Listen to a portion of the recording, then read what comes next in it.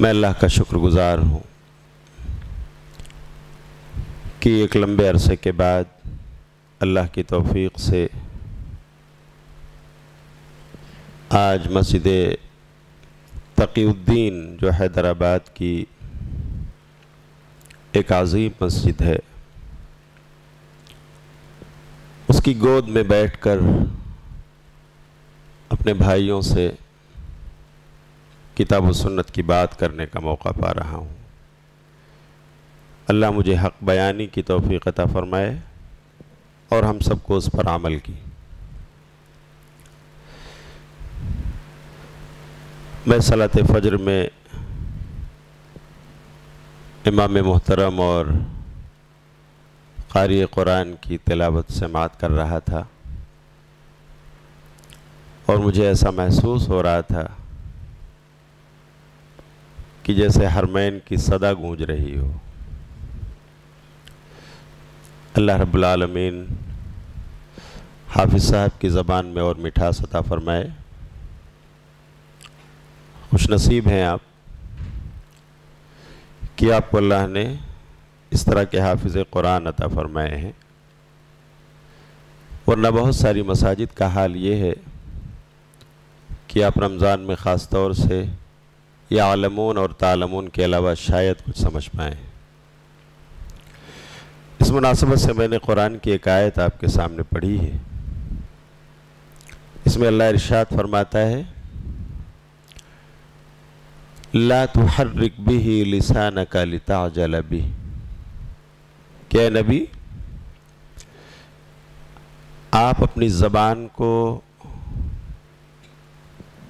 हरकत देने में जल्दी न करो कुरान के साथ। यानी कुरान की क़रत में शाइस्तगी और मतानत होना चाहिए।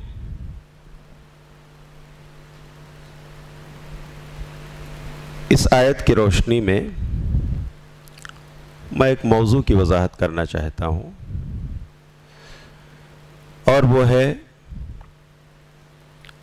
जल्दबाजी, काबिल तारीफ़ या काबिल मज़म्मत। है तो एक कुछ अजनबी सा मौजू, लेकिन दर हकीकत ये कुरान का मौजू है।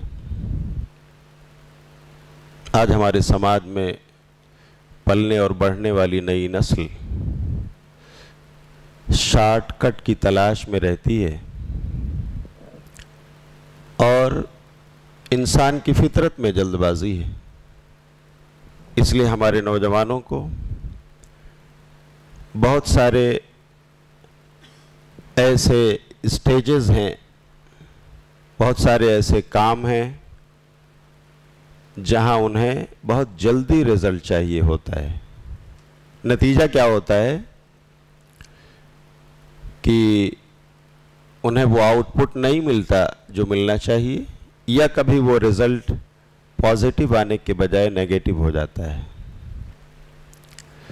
तो मेरे भाइयों, हमारी ज़िंदगी के चंद मराहल,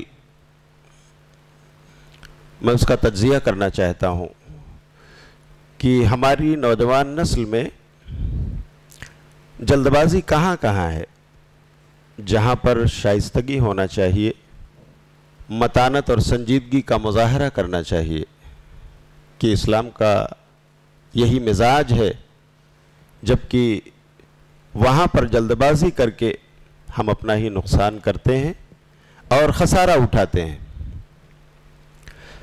पर यह जानना ज़रूरी है कि जल्दबाजी है क्या? इसका डिफिनेशन क्या है? जल्दबाजी दर हकीकत कहते हैं कि इंसान किसी चीज़ को उसका वक्त आने से पहले हासिल करने की कोशिश करें। एक किसान अपनी फ़सल बोता है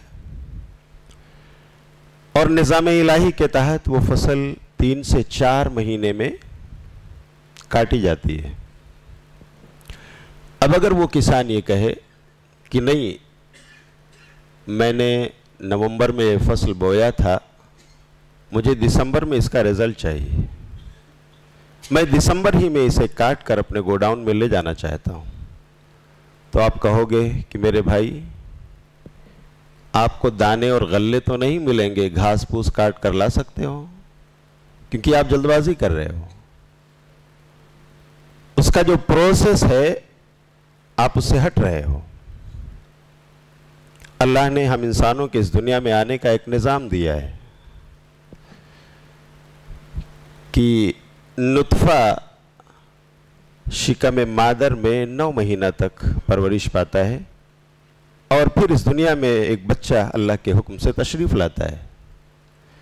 अब अगर कोई शादीशुदा जवान ये कहे और अपनी बीवी से ये ख्वाहिश ज़ाहिर करे कि मुझे बस चार महीने के अंदर ये प्रोडक्शन चाहिए तो आप क्या कहेंगे?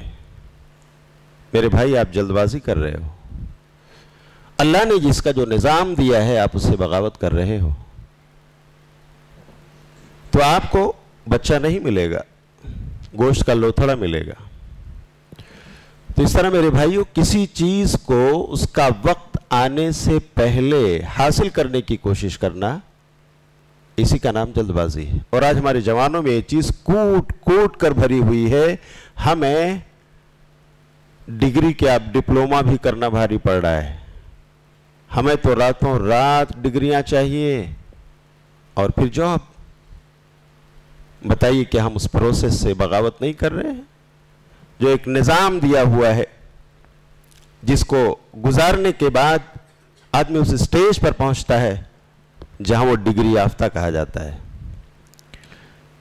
प्यारे नबी वसल्लम की हदीस पढ़िए तो वहाँ भी पता चलता है कि आप वसल्लम ने उम्मत मोहम्मदिया को जो मिजाज दिया है वो यही कि आपको मतानत और संजीदगी का खूगर होना चाहिए। जल्दबाजी से परहेज करना चाहिए। मुसनद अबू आला की एक रिवायत है जिसे अल्लाह मालबानी ने हसन करार दिया है। आप वसल्लम कहते हैं अतन्नी मिन अल्लाह वलाजलत मिन शैतान की मतानत और संजीदगी ये अल्लाह की तरफ़ से दिया हुआ तोहफा है। जिसको मिल जाए। और जल्दबाजी, ये शैतान का गिफ्ट है। कितने वाज अल्फाज हैं प्यारे नबी वसल्लम के। तो मेरे जवानों, जल्दबाजी, ये काबिल मजम्मत है या काबिल तारीफ़? हमें इसे समझना होगा। शरीयत ने हमें क्या मिजाज दिया है? हमें उसे अपने आप को फैमिलियर करना होगा। तो इन हमारे कामों का एक अच्छा रिज़ल्ट आएगा और हम अपना लगाया हुआ पौधा उसका फल खा सकेंगे। लेकिन वक्त से पहले रुपाई की कोशिश होगी तो सिर्फ़ पत्तियाँ हाथ आएँगी, दाने और गल्ला जात नहीं। खुद प्यारे नबी वसल्लम की ज़िंदगी का मुताला करें। अल्लाह रब्बुल आलमीन ने अपने नबी को यही हुक्म दिया। सूर्य अहकाफ पढ़िए तो आयत नंबर 35 में अल्लाह इरशाद फरमाता है, फसबिर कमा सबर उल आज़म मिन रसुल वला तस्ताजिल्लहुम क्या नबी, आप सब्र से काम लो, जैसे आपसे पहले आली हिम्मत रसूलों ने सब्र किया है। उलुल आज़म रसूलों ने जिस तरह सब्र जब्त का मुजाहरा किया है, ए नबी, आप भी सब्र से काम लो। वला तस्ताजिल्लहुम और ये जो आपकी मदऊ कौम है, आप उसके लिए अजाब मांगने में जल्दी न करो। अल्लाह का हुक्म है प्यारे नबी वसल्लम को। आप सीरत रसूल उठाकर देखिए कि वही मक्का की सरजमीन है, आप सजदा रेज हैं, और अबू जहल जैसा शरीर इंसान अपने दोस्तों के साथ ऊँट की ओझ लाता है। और ऊँट की ओझड़ी को लाकर नबी के सर पर रख देता है। गुजरते हुए बेटी फातिमा की नज़र पड़ती है और वो अपने अब्बू के सर से वो ओझ उठा करके बगल में हटा देती है। हाय मेरे अब्बू, क्या किया शरीरों ने आपके साथ? लेकिन हमारे नबी ने सब्र से काम लिया।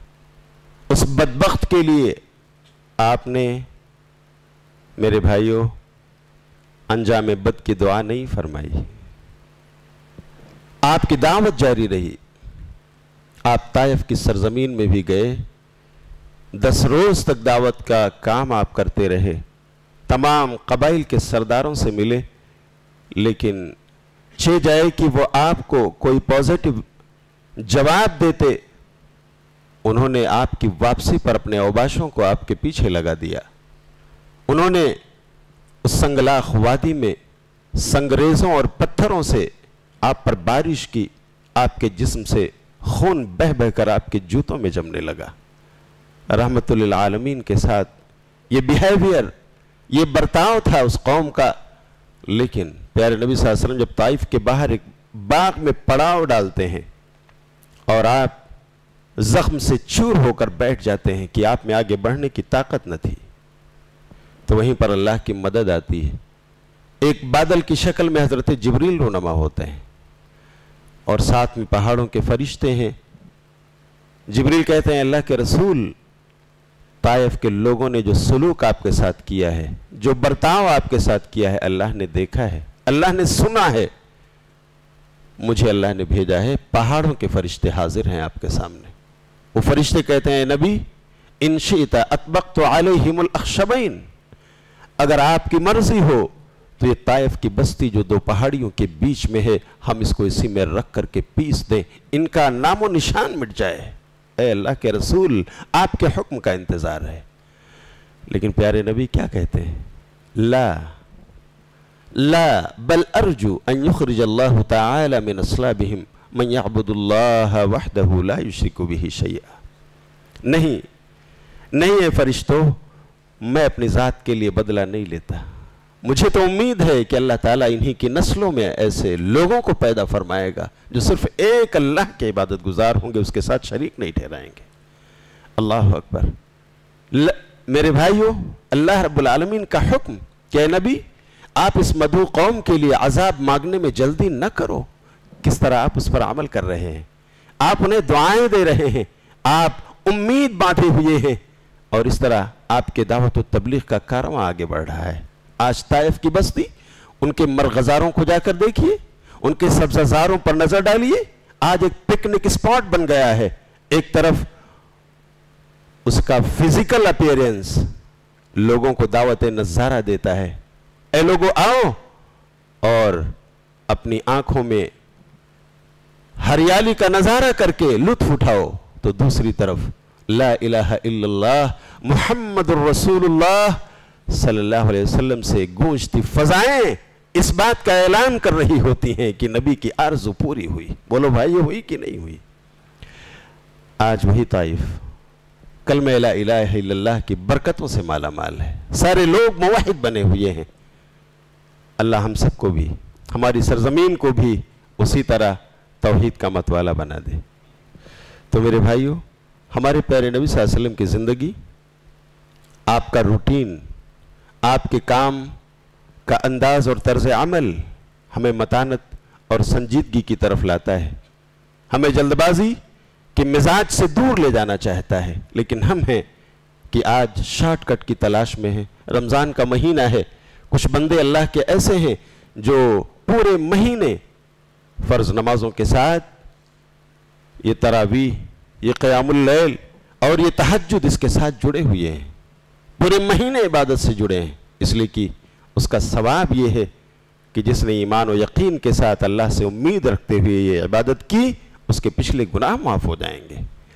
लेकिन वहीं पर आप देखें, इसी सरजमीन हैदराबाद या मैं मुंबई के बाशिंदों में से एक हूँ। मैंने वहाँ की सरजमीन में देखा है, अखबारात में ऐलान आता है कि लोगों, जिन्होंने तरावी नहीं पढ़ी है कोई बात नहीं। आओ, एक रात में कुरान हम ख़त्म करेंगे। शबीना, हम शबीना का अहतमाम कर रहे हैं। शब के माने रात होते हैं। और शबीना से, इस टर्मिनोलॉजी से उनकी मुराद ये है कि आओ, एक रात में हम खड़े होकर के पूरा कुरान सुनेंगे। और बस उसके बाद तुम्हें छुटकारा। पूरे महीने की इबादत को एक महीना एक रात में हम खत्म कर दे रहे हैं। ये शॉर्टकट क्या बिदात नहीं है? क्या ये दीन के मिजाज से मिलती जुलती चीज़ है? मेरे भाइयों, हमें ऐसी चीज़ों से दूर रहना चाहिए। इसलिए कि इबादत प्यारे नबी वसल्लम और सहाबा ने तो पूरे महीने अंजाम दी है, बल्कि प्यारे नबी वसल्लम की ज़िंदगी का सबक ये है कि आप तो साल के बारह महीने तहजद अदा किया करते थे। अगरचे की उम्मतियों के लिए नफल इबादत है, लेकिन बड़ी अजीम इबादत है। अल्लाह हमें इसे कम से कम रमज़ान में मुकम्मल तौर से अपने इमाम की इक्तदा में इस क़यामुल्लैल को भरपूर अंदाज में अदा करने की तोफ़ी अता फरमाए। तो मेरे भाइयों, शरीयत का दिया हुआ मिजाज है कि हम संजीदा बने, मतानत अपने अंदर लाएँ हती कि कुरान पढ़ने तक में हमसे संजीदगी का मुजाहरा किया जा रहा है। इबादात में भी संजीदगी का मुजाहरा किया जा रहा है। लेकिन मामला ऐसा है कि जहाँ जल्दी होनी चाहिए, वहाँ देर और जहाँ गौर फ़िक्र से काम लिया जाना चाहिए, वहाँ जल्दबाजी है।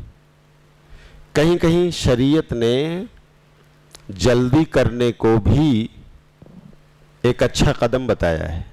आप सुर आल इमरान पढ़िए, अल्लाह फरमाता है वसारिला मगफरत रबिकुम व जन्नत अर्ज़मावत अर्ज़ वद्दतमतकीन के लोगों, दौड़ो, जल्दी करो अपने रब के बख्शिश की तरफ़ और उस जन्नत की तरफ़ जिसकी चौड़ाई आसमान और ज़मीन है, जो मुत्तकियों के लिए बनाई गई।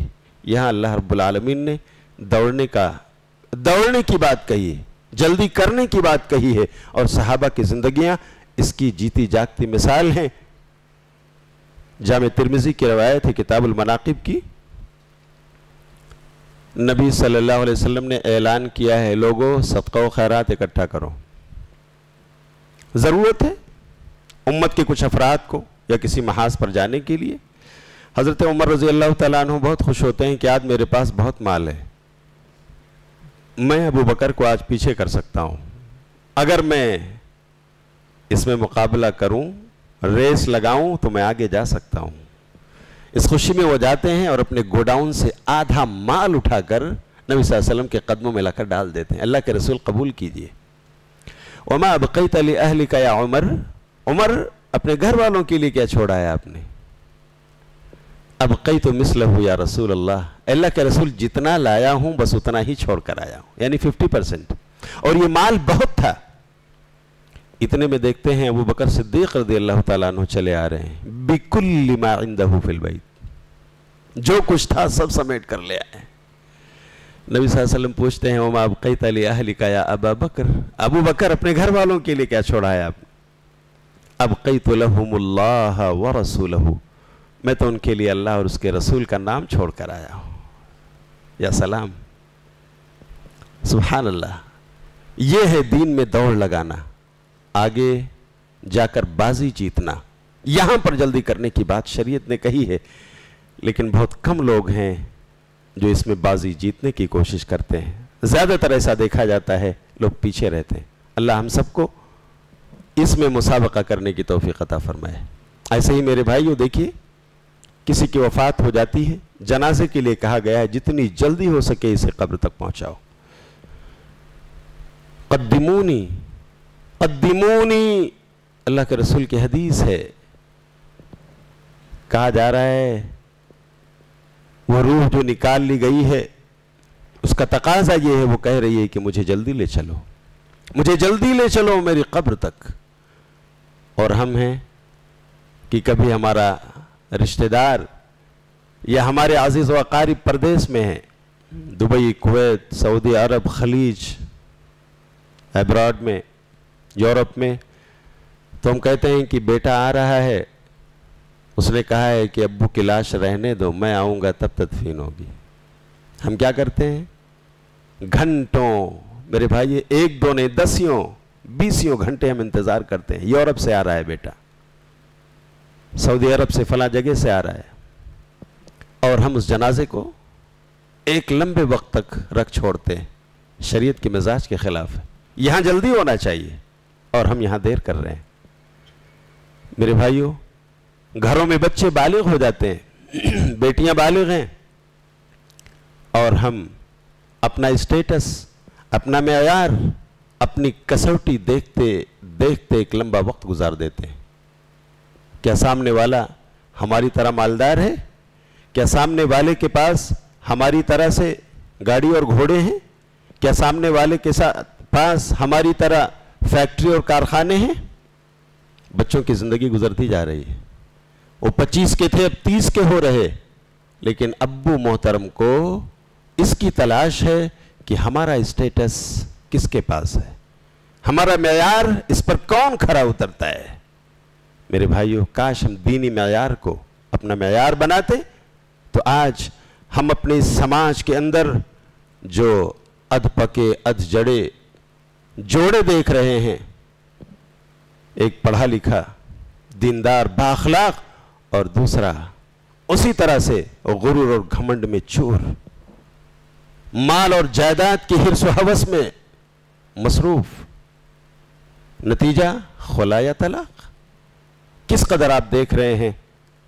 इस मामले में मेरे भाई उथल और पथल है।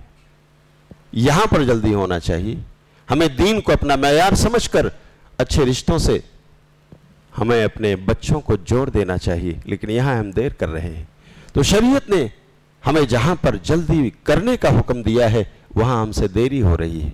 और जहाँ पर शरीयत ने कहा है कि मतानत और संजीदगी से काम लो, तब रिज़ल्ट तुम्हें मिलेगा। वहाँ पर हम जल्दबाजी का शिकार हैं। हमें अपनी ज़िंदगी में एक तबासुन लाना है और उसे अपनाना है। आइए मैं नौजवानों दो चार मिसालें आपको देना चाहता हूँ। हमारी जिंदगियों में उजलतबाजी है कहाँ और हमें मतानत से किस कदर काम लेना चाहिए? देखिए कभी कभी मैं बात जवानों की कर रहा हूँ, लेकिन ऐसा भी होता है कि अपने कौम के बुज़ुर्ग, अपने ख़ानदान के बुज़ुर्ग, अपने घर के सरपरस्त, उनके यहाँ भी इस तरह के मामला सामने में आते हैं कि जल्दबाजी में बहुत कुछ ऐसा कदम उठा लेते हैं जो नहीं उठाना चाहिए। जैसे बच्चों से बिज़नेस में, कारोबार में, किसी और मसले में गलती हो गई। तो अब्बू मोहतरम नाराज़। और नाराज़गी का आलम यह है कि तेरा सत्यानाश हो तो मिट जाए। सफे हस्ती से मिट जाए। तेरा और तेरा ऐसा और वैसा हो जाए। अबू मोहतरम की जबान अदा हो रही है। अपने बिज़नेस को कर्ज करते हैं। अल्लाह इसे खत्म कर दे। अपने बीवी बच्चों को कर्ज करते हैं। लामत और मलामत करते हुए नज़र आते हैं। जल्दबाजी। लेकिन मेरे भाइयों, शरीयत ने क्या कहा है? ला तदफुसिकुम वला अला औलादिकुम वला अला अमवालिकुम। ए लोगो, देखो तुम जल्दी करते हुए अपने आप को बददुआ मत दो। अपने बच्चों को बददुआ मत दो, अपने माल और जायदाद को कर्ज मत करो।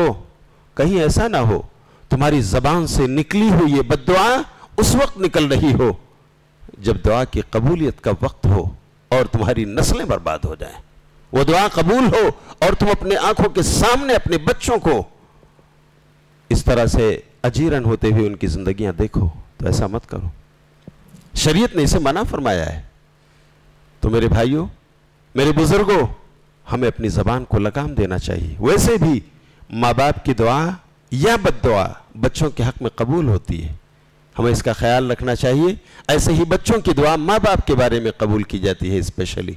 इसलिए बतौर ख़ास जो गार्जियंस से जिम्मेदारान हैं माँ बाप हैं, उन्हें इस बात का पासो लिहाज होना चाहिए कि अपने बच्चों के मामले में जल्दबाजी से काम ना लें, अपनी ज़बान को रोकें और सोच समझकर जुमले अदा करें। ताकि उनके लिए मुस्तबिल में खैर हो, उनकी ज़बान से निकलने वाला जुमला कोई खैर लेकर आए। शायद आपने सुना हो, इमाम हरम इमाम हरम मक्का, शेख सुदैस हफिज़ल्ला वो ब्रितानिया के एक दावती दौरे पर थे, इंग्लैंड के, और गालिबा लंदन की किसी कॉन्फ्रेंस में उन्होंने ख़िताब में वालदेन से अपील की थी। कि लोगों, अपने बच्चों के ताल्लुक़ से ज़बान खोलने में जल्दी न करो। बदुआएँ मत दो। तुम्हारी दुआ हो या बद अल्लाह जल्दी सुनता और कबूल कर लेता है। और सुनो, मैं उसकी एक जीती जागती मिसाल हूँ तुम्हारे सामने। शेख हफिज़ल्ला उन्होंने कहा कि सुदेश जब छोटा था और धूल और मिट्टी में खेल रहा था। सुदैस के घर मेहमान आए थे और सुदैस की माँ चूल्हे पर हांडी रखकर सालन तैयार कर रही थी। उस वक्त यही खेलता, कूदता, धूल और मिट्टी में लिपटा हुआ सुदैस अपने हाथों में धूल मिट्टी लेकर जाता है और माँ की रखी हुई हांडी में जहाँ सालन पक रहा था, उसी में डाल देता है। माँ अपने आँखों से देखती है, बेटे सुदैस, तुमने क्या किया? बेटे, मेरे घर में मेहमान हैं, सुदैस तूने क्या किया? मेरे पकते हुए सालन को तूने खराब कर दिया। आज की माएँ होती तो क्या कहती? लेकिन शेख सुदैस हफिजहुल्लाह कहते हैं कि उस माँ ने गुस्से के आलम में कहा था, सुदैस, तूने क्या किया? मैंने मेहमानों की मेहमान नवाजी के लिए इसे पकाया और तैयार किया था। सुदैस, जा, अल्लाह तुझे हिदायत दे, तुझे इमाम हरम बना दे। तुझे इमाम हरम बना दे। शेख सुदैस की आँखें डबडबा गई। मेरी माँ ने गुस्से के आलम में दुआ निकाली थी और आज अल्लाह ने मुझे इमाम हरम बना दिया तो प्यारे वालदेन, अपने बच्चों के ताल्लुक से अपने अल्फाज और जुमलों पर गिरफ्त रखो। सोच समझ कर अदा करो, मैं क्या बोल रहा हूँ? दुआ दे रहा हूँ या बद दुआ अल्लाह रब्बुल आलमीन उसे कबूल फरमाता है। इसी तरह हमारे जवानों में कभी कभी देखने में आता है कि नमाज़ पढ़ने में उनके यहाँ बड़ी जल्दबाजी है। वो कॉलेज की क्लास करना चाहते हैं या किसी और काम में उनकी मसरूफियत है, मस्जिद को आए, लेकिन चार रकात की नमाज़ पढ़ते हुए उन्हें दो मिनट भी नहीं लगा। चार रकात की नमाज़ में डेढ़ से दो मिनट भी नहीं। जल्दबाजी करते हुए नमाज़ अदा कर रहे हैं। मेरे जवानों, पता है, प्यारे नबी वसल्लम के एक सहाबी, आपकी आँखों के सामने, आपकी आँखों के सामने आते हैं, नमाज़ पढ़ते हैं नबी वसल्लम उनको बुलाते हैं और कहते हैं, सल्ली फ़िन कलम तो सली सही बुखारी सात सौ सत्तावन नंबर की हदीस है। जाओ, फिर से नमाज़ पढ़ो। आपने नमाज़ नहीं पढ़ी? वो जाते हैं, फिर नमाज़ पढ़ते हैं। अल्लाह के रसूल फिर उनसे कहते हैं, सल्ली फ़िन कलम तो सल्ली फिर से नमाज़ पढ़ो। आपने नमाज़ नहीं पढ़ी? फिर से वो नमाज़ पढ़ते हैं। तीन बार वही नमाज़ अदा हुई। फिर भी अल्लाह के रसूल वसल्लम कहते हैं, जाओ, फिर से नमाज़ पढ़ो। अभी नमाज़ नहीं हुई। कहते हैं, अल्लाह के रसूल कैसे पढ़ूं? मुझे बता दीजिए। मुझे बता दीजिए अल्लाह के रसूल में कैसे पढ़ूं? फिर नबी वसल्लम कहते हैं कि जब तुम क़याम करो तो इतमान के साथ खड़े रहो और किरत करो। रुकू में जाओ तो अच्छी तरह से मुतमिन हो जाओ। तुम्हारी पीठ तुम्हारा सर बराबर हो जाए। जब तुम उठो तो इस तरह से खड़े हो जाओ इतमान के साथ कि तुम्हारी सारी हड्डियाँ अपनी जगह पर सेट हो जाएँ। इतमान से। सजदे में जाओ तो बिल्कुल इत्मीनान के साथ सजदा करो। जल्दबाजी ना करो। कव्वे और बर्ड की तरह चौंच मत मारो।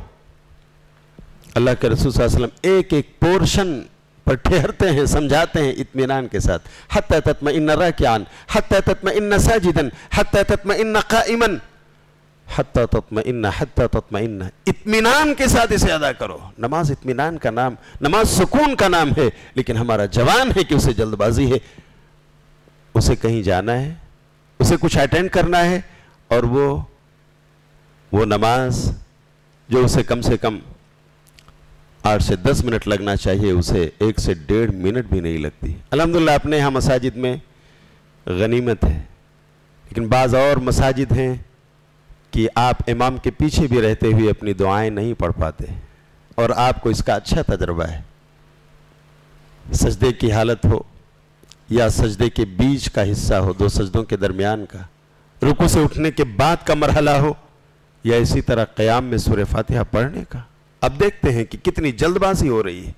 अल्लाह का शुक्र है कि सलफ़ी मसाजिद में इसका अहतमाम होता है। इल्ला माशा कभी कभी, कभार यक्का दुक्का वाक़ात ऐसे होते हैं कि हमारे जवान जल्दबाजी करते हुए नज़र आते हैं। मेरे भाइयों, वो इंसान जो अपनी नमाज़ और अल्लाह से लव लगाने में जल्दबाजी करता है इस अंदाज में, उसकी नमाज़ उसके मुँह पर मार दी जाती है। कबूल नहीं होती। इसलिए हमें नमाज़ में भी इतमान और सुकून का मुजाहरा करना चाहिए, जल्दबाजी से परहेज करना चाहिए। हमारे नौजवान को जल्दी कहाँ है? हमारा नौजवान मोटर बाइक लाता है। अब्बू से जिद करके, अब्बू मैंने टेंथ पास किया। मैंने इलेवन और ट्वेल्व पास किया। मुझे बाइक मिलनी चाहिए। नई मॉडल अब्बू ने दिला दिया। अब हमारा जवान क्या करता है? रेस लगाता है। वो ड्राइविंग कर रहा है, लेकिन हैदराबाद की रशफुल सड़कों पर भी वो बाजी मारना चाहता है। ओवरटेक कर रहा है। नतीजा? रिज़ल्ट हमारे सामने। मुंबई की सरजमीन में कितने ऐसे वाकयात रोज आए दिन लोग पढ़ते हैं कि ओवरटेक करने वाले जवान को बेस्ट बस ने कुचल डाला। कार ने रौंद डाला। मेरे जवानों, आखिरी जल्दबाजी क्यों है? शायद इसलिए हो कि तुम्हें कॉलेज जाने की जल्दी है। तुम्हें यूनिवर्सिटी की, के पीरियड्स को अटेंड करने की जल्दी है। शायद इसलिए कि तुम जॉब स्पॉट पे जा रहे हो, कहीं लेट ना हो जाओ। तो जरा सा संजीदगी का मुजाहरा करो।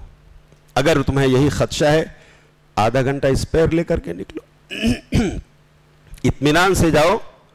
और अगर देर भी हो रही है तो आखिर आपका बॉस क्या होगा? बहुत सख्त है। तो आपकी तनख्वाह थोड़ी काट लेगा कि चलिए एक दिन माइनस यही तो करेगा।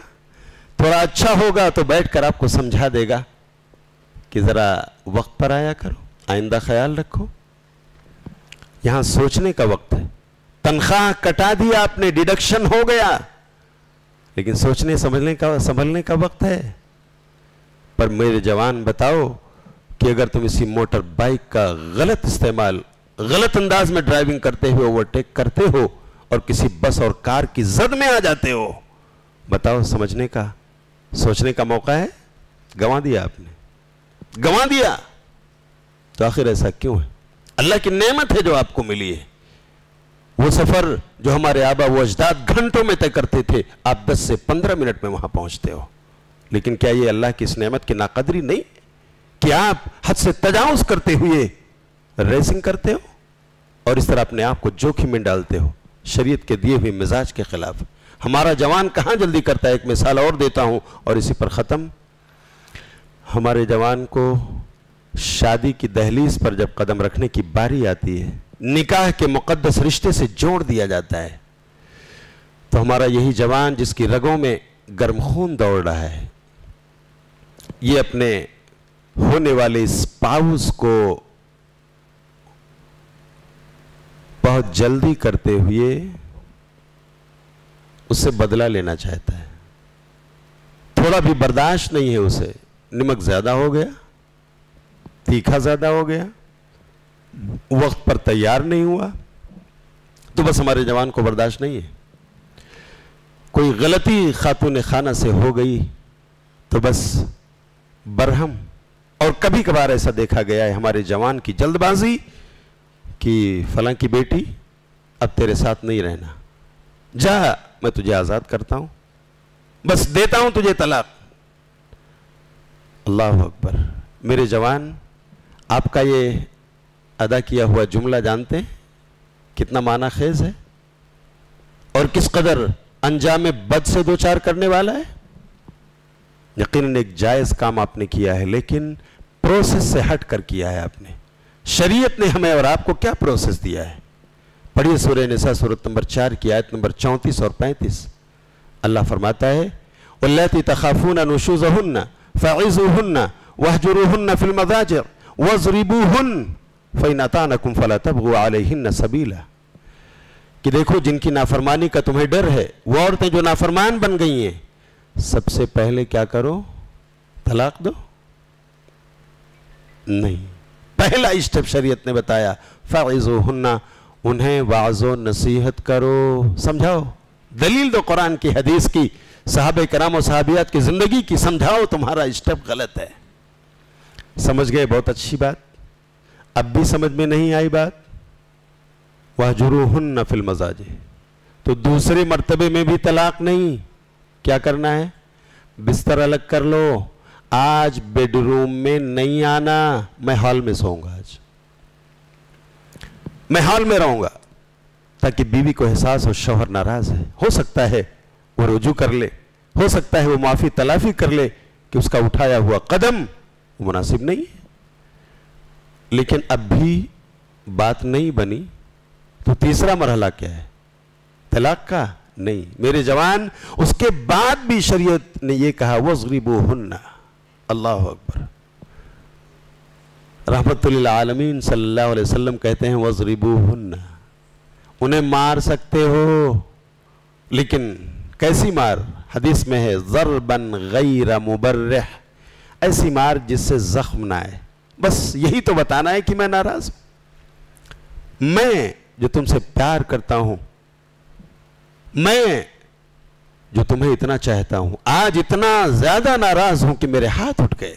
बस इतनी सी बात है। हो सकता है उसे एहसास एहसास जुर्म हो जाए और वो रुजू कर ले, माफ़ी मांग ले और आपकी गाड़ी ट्रैक पर चल पड़े।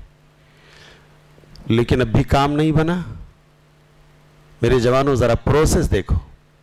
शरीयत ने क्या मिजाज दिया है हमको? तीन मर्तबा, तीन अलग अलग स्टेप्स उसमें तलाक का नाम नहीं है। चौथी बारी किसकी है? अब भी अगर बीवी नहीं मानती, नाफरमानी पर तुली हुई है, अब भी तुम्हें तलाक नहीं देना है। फब आसू हकम मिन अहली ही व हकम मिन अहलिहा। आओ, बीवी की तरफ़ से एक मीडिएटर ले आओ, उनके रिश्तेदार में से। खालू हो, नाना हो अबू हो, चाचा हो हाँ बुला लो किसी मीडिएटर को। और अपनी तरफ़ से शौहर को चाहिए एक मीडिएटर, बीच में लाए एक सालिस को। एक हकम को और मीटिंग कर लो। मीटिंग में जब हकम ये तय कर दें कि गलती तुम्हारी है तो तुम माफ़ी मांग लो।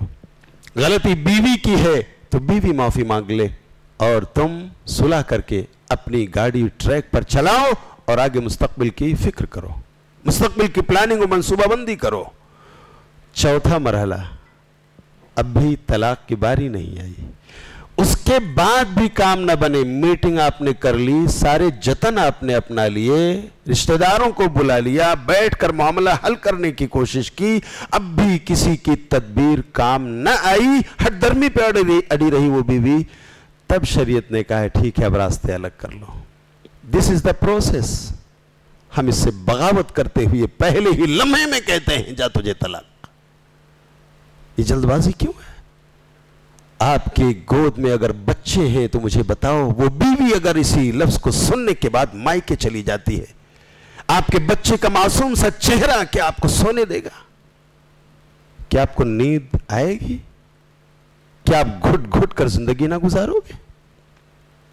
आपके बच्चे जो स्कूलिंग कर रहे हैं, मायका आपकी बीवी का काफ़ी दूर है, बच्चों का स्कूल छूट गया, बताओ, ये तालीम का खसारा क्या आपको सोने देगा बच्चों की होती हुई इस्लामिक एडुकेशन जो छिन गई, बताओ क्या आपको नींद आएगी तो आखिर ये जल्दबाजी ही का मेरे भाइयों नतीजा नहीं है। अगर ऐसा है तो जवानों, आखिर जल्दबाजी क्यों है? शरीयत के मिजाज को समझो, अपनी ज़िंदगी में संजीदगी को लाओ, मतानत को लाओ, और एक बैलेंस लाइफ गुजारने की कोशिश करो। ये शरीयत का दिया हुआ मिजाज है। अल्लाह ताला हमारे जवानों को हमारी नई नस्लों को इसे समझने की तोफ़ी अता फरमाए। और शॉर्टकट की तलाश में जो हमारे जवान रहते हैं, अल्लाह ताला उन्हें निज़ाम और प्रोसेस को अपना कर अच्छा रिज़ल्ट हासिल करने की कोशिश करने वाला अल्लाह तू बना दे। और जिन लोगों के यहाँ जल्दबाजियाँ हैं, अल्लाह ताला इसे मतानत और संजीदगी में बदल दे और शरीयत के दिए हुए मिजाज को अपनाने की अल्लाह तोफ़ी अता फरमाए। मैं शुक्रगुजार हूँ मस्जिद तकीउद्दीन के ज़िम्मेदारों का ये मौका उन्होंने हमें दिया। हालाँकि ये वक्त ऐसा है जब लोगों की आँखों में नींद मचल रही होती है। लेकिन आपने क़ुरबानी दी है। अल्लाह ताला इसे कबूल फरमाए। और इसी तरह मैं अपने अज़ीज़ दोस्त, अफरोज़ भाई और उनकी टीम का शुक्र अदा करता हूँ, जिनकी मेहनत और काविश से आज मैं आपके दरमियान मौजूद हूँ। अल्लाह ताला हम सब की काविशों को कबूल फरमाए। हम सब के मिज़ान हसनात में से दर्ज फरमाए। आमीन।